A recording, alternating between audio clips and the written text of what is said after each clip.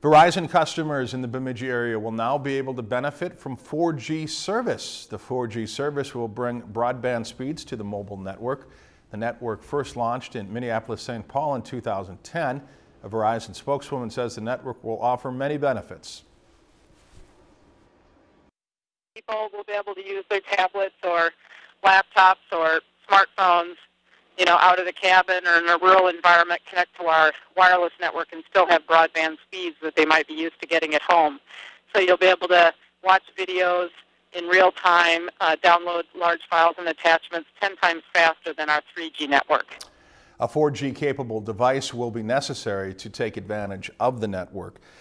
If you've enjoyed this segment of Lakeland News, please consider making a tax-deductible contribution to Lakeland Public Television.